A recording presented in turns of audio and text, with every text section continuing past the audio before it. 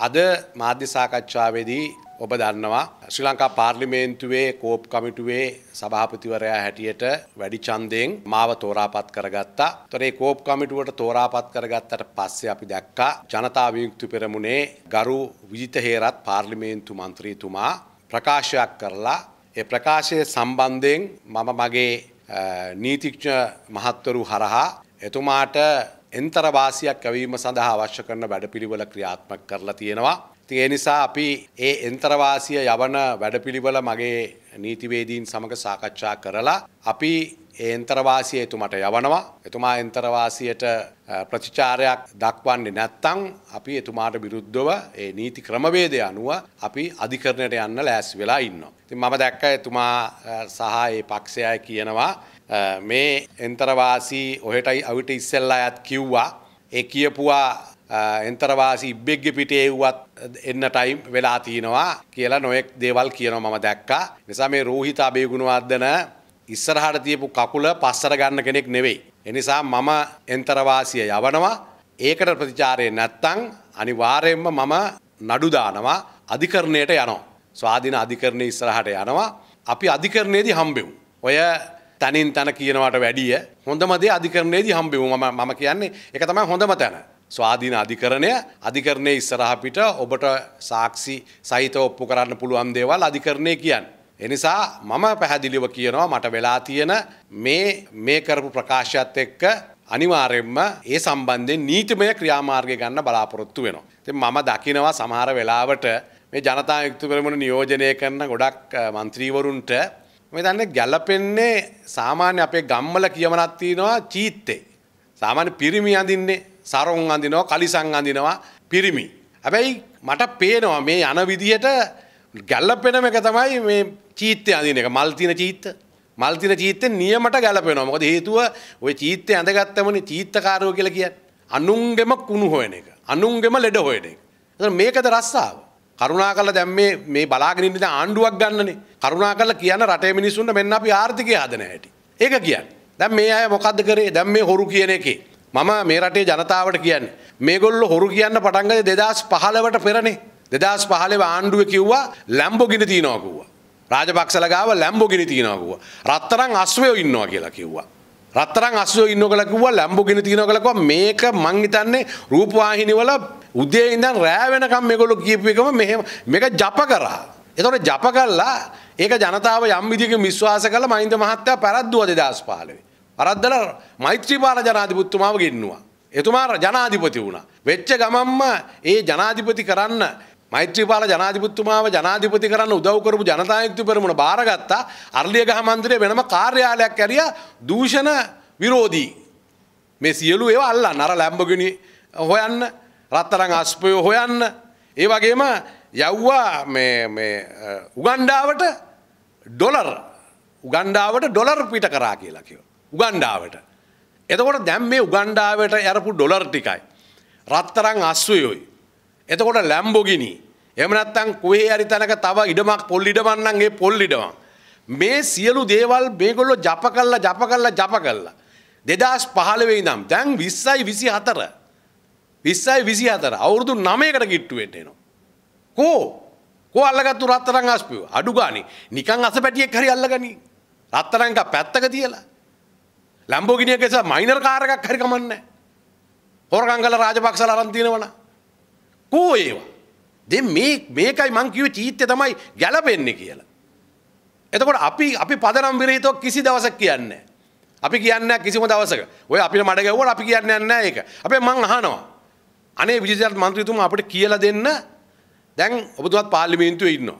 අපිට අපිට අපි දැන් අපිට අපි අහලා තියෙනවා ජනතා ශක්ති පෙරමුණේ පාර්ලිමේන්තු පඩියවත් ගන්නෙ නැහැ. පාර්ලිමේන්තු පඩිය ගන්නෙත් නැත්තම්. එතකොට මේ කිසිම දෙයක් අරගන්නේ නැතුව ව්‍යාපාරයක් කරන්නේ නැත්තම්. රස්සාවක් කරන්නේ නැත්තම් මේ අපිට බයින හින්දා.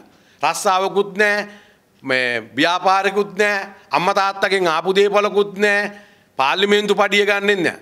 අනේ පින් සිද්ධ වෙනෝ කියලා දෙන්නකෝ ගෙදර නෝනයි දරුවෝ ටිකයි කාලා බීලා ඔය වහනට තෙල් ගහලා ගිහිල්ලා ඔය හොඳ ෂර්ට් එකක් ඇඳලා හොඳ සපත් දෙකක් දාලා හොඳට ඇදලා කරලා යන්නේ කොහොමද කියලා කියලා දෙන්න.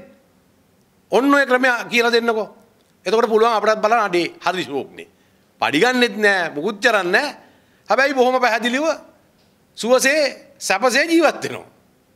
ඉතින් මේ හැමදාම දෙනවද මේ ඇඳුම්? හැමදාම දෙනවද මේවා? ඉතින් මොකද්ද මේ මේ මේ ක්‍රමේ කියලා දෙන්නේ? හැබැයි අපි කියනවා පැහැදිලිව අපිට අත්දැකීම් තියෙනවා 88 89 අපි ජනතා යුක්ති පෙරමුණුත් තරුණා ඒ වගේම තිච්ච ආණ්ඩුවෙනුත් තරුණා අපි ශ්‍රී ලංකා නිදහස් පක්ෂේ අපි ශ්‍රී ලංකා නිදහස් පක්ෂේ අපි එදා තරුණා. අපි තරුණයෝ හැටියට බොහොම අවුරුන් ජීවිතේ බේරගත්තා. එක පැත්තෙන් ජනතා යුක්ති පෙරමුණෙන් මරන්න එනවා. ශ්‍රී ලංකා නිදහස් පක්ෂය කියලා. අනිත් පැත්තෙන් ආණ්ඩුවෙන් මරන්න එනවා අපිව ජනතා යුක්ති පෙරමුණේ කියලා. හැබැයි අන්න ඒ කාලේ නම් ජනතා යුක්ති පෙරමුණේ සමාජිකයෝ ඇවිල්ලා බත් මුට්ටිය හොරකම් කරන් ගියා. මේ උයලා තියෙන බත් මුට්ටිය අපේ ගම්වල හොරන් කරගෙන ගියා. මොකද ජනතා යුක්තිපුරේ වැඩි සමාජික පිරිසක් ඉන්නේ කළුතර දිස්ත්‍රික්කේ. ඒකේ නායකයා ඔක්කොම ඊට පස්සේ හඳුනුම්පත. ආන්දර දෙකටනේ කූද්දන්නේ. තට්ටු කරන ටොට්ටොක් ගාලා දෙන්න ඩෙන්ටි කාඩ් එක අරන් යනවා. ඊළඟට තව මොනවද? ආ ග්‍රාමීය බැංකුවද අරකද මේකද සියල්ලම කැඩුවා. ඉතින් මේක මේක මේක අපි කියන්නේ මේක රටේ වෙච්ච දේ. හැබැයි ඒකට පෞද්ගලිකව මේ මඩ ගහන ක්‍රමය නවත්තන්න මේ පෞද්ගලික මඩ ගහන. හැබැයි ඒ නිසා අපි කියනවා අධිකරණයේදී අපි හම්බෙමු. අධිකරණ කටයුත්තක් අධිකරණ කටයුත්තක් තියෙන දේවල් වැඩිය කතා කරන එක සුබවාදී නෑ. අධිකරණයේදී හම්බෙමු. ඒ නිසා අපි එන්තරවාසී යවන්නේ ඒ වගේම නඩු දාන්නේ මගදී ඉල්ලාස් කරගන්න නෙවෙයි. අධිකරණයේ තීන්දුව කරයි කවුද වැරදි කවුද හරි කියලා. අපි ඒක අධිකරණයට බාර කරනවා. එනිසා බොහොම පැහැදිලිව අපි ඒ වගකීම ඉටු කරනවා කියන එක මතක් කරන්න. මුලින්ම ඔබතුමාට සුබ පතනවා මාධ්‍ය විදියට මේ දැන් එන්තරවාසී ඔබතුමාලා යැව්වද මේ වෙනකොට මේ සතිය ඇතුළත එන්තරවාසී යවනවා. හරි දැන් එතකොට මේ මේ ජනාධිපති අපේක්ෂකයා ගැන තවදුරටත් කතා බහට ලක් වෙනෝ බැසිල් රාජපක්ෂ මහත්මයා ප්‍රකාශයක් කරලා තිබුණා මාධ්‍යයට මේ යම් අපේක්ෂකත්වයේ සම්බන්ධයෙන් විවිධ මතයක්. ඔබතුමාලගේ මතය මොකද්ද රනිල් වික්‍රමසිංහ මහත්මයා ඉදිරියට ගේන්න ජනාධිපති අපේක්ෂකයා විදියට ගේන්න මේ සූදානමක් තියනවද පක්ෂේ මතය මොකක්ද. අපි මේ සතිය ඇතුළත අපේ පක්ෂේ පරමාදර්ශි නායක මහින්ද රාජපක්ෂ ජනාධිපතිතුමත් ඒ වගේම පක්ෂයේ නිර්මාතෘ බැසිල් රාජපක්ෂ මැතිතුමා ඇතුළු අපේ ජ්‍යෙෂ්ඨ නායකයෝ අපි සාකච්ඡාව ඇති කරගන්නවා. ඒ සාකච්ඡාව තුලින් අපි ඉතා ඉක්මනින් කියනවා කවුද අපේ අපේක්ෂකයා කියන එක. බොහොම පැහැදිලිව. මොකද අපිට ඕන දිනන්න.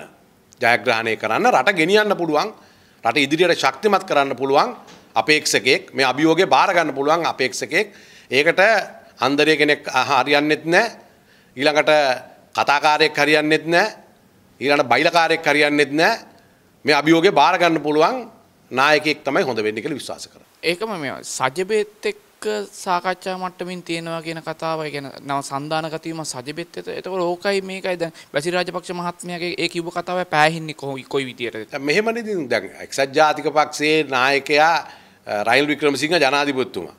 එතුමාව ජනාධිපති කරන්න පුළුවන් නම් අපිට. අපිට බැරිද මේ මේ තව කට්ටියක් එක්ක ගිහිල්ලා අත්වල බඳ ගන්න පුළුවන්? මේ රට ආදරය කරන ඕනම කෙනෙක් එක්ක ප්‍රජාතන්ත්‍රවාදය රජ කරන ඇත්ත එක අපි ගන්නේ. අපි යන්නේ අර ගිනි තියෙන කැලෑ නීතිය ගේන ඒ ඈත් එක්ක අපි යන්නේ නැහැ. ඒ ඈත් එක්ක හරි බයයිනේ යන්න. කිට්ටුනොක් ගිනි තියෙනවා.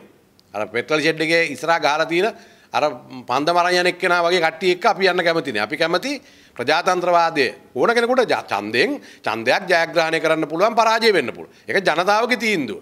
හැබැයි මේ ජනතා තීන්දුවත් එක්ක ප්‍රජාතන්ත්‍රවාදී රටක තමයි රාමුවක් ඇතුළේ තමයි ජීවත් වෙන්න ඕන. එහෙම නැතුව අපි කැමති වෙන්නේ නැහැ ගිහිල්ලා අරයාගේ ගෙදර බයිසිකල් දෙකක් තියෙනවා. ඒක එකක් මෙයාට දෙන්න. අරයාගේ ව්‍යාපාර රම් මෙයාට දෙන්න. ආ එහෙම එහෙම පුළුවන් කමක් වෙන්නේ නැහැ. ඒවා හොඳයි ඉතින් අර සුරංගනා කතා, රස කතා, ඥාන කතා ඒ කතා වලට හොඳයි. හැබැයි රටක් පාලනය කරන්න ඒක හරියන්නේ නැහැ. රටක් නෙවෙයි අඩු ගානේ ඒක ගෙදරක්වත් එහෙම පාලනය කරන්න බෑ. දැන් මේ මේ කවුරු හරි තර්කයක් ගෙනවොත් මේ එක්තරා බලකඳරුවකට බය වෙලා ඒකට පැරදිය කියන බයට ඔබතුමල්ලා ඔවුන්ට විරුද්ධ වෙන බලකඳුරට නිර්මාණය කරන තමයි මේ උස්. නෑ සාමාන්‍ය කාගවත් බලකඳුරට අපි බය වෙන්න ඕනේ නෑ. හැබැයි ඉතින් දේශපාලනය කියලා කියන්නේ අපි ඒක දැනගන්න ඕන තරඟයකට යනකොට තරඟ උපක්‍රමශීලීව ක්‍රියාත්මක වෙන්න. ඉතින් එහෙම නැතුව ගිහිල්ලිවලා දැන් ගිහිල්ලා දැන් යුද්ධයකට ගියාම එකපාරටම තතුරා එනකොටම ආ එන්න එන්න එන්න ඔයා එන්න කියලා ගිහිල්ලිවලා වෙඩි කන්නේ කවුද? ඒ මෝඩ හරකෙක්.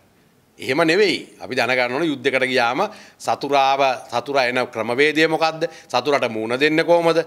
ඒකට කොහොමද අපි පසු බහින්න නම් පසු බහින්න කොහොමද?